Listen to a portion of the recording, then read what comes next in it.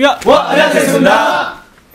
네, 2013년도 한 해는 저희가 정말 뜻깊은 한 해였는데요. 네. 첫 번째 정규 앨범 늑대와 미녀 으르렁 그리고 12월의 기적까지 저희 엑소가 정말 많은 사랑을 받고 행복한 한 해였습니다. 네. 그런데 저희도 모르게 늑대와 미녀 앨범을 통해 깜짝 이벤트를 해주셨더라고요. 그건 바로 전 세계 팬 여러분들이 보내주신 오선지 편지였습니다. 네, 여기 정말 많은 편지들이 있는데요. 네. 저희가 꼼꼼히 다 읽어봤습니다. 네. 팬 여러분들 사랑합니다. 아. 네, 태국에서 소피아 양과 미사키 양이 보내준 정성 가득한 편지도 보이고요. 아. 저는 대만에서曾培용씨랑 원원 씨 보내준 편지도 읽었어요. 네. 정말 정성이 가득해요. 네, 네. 이 편지 지혜는 가수가 되고 싶은 네. 필리핀 와나 그리고 인도네시아 리사 양도 네, 있습니다. 네.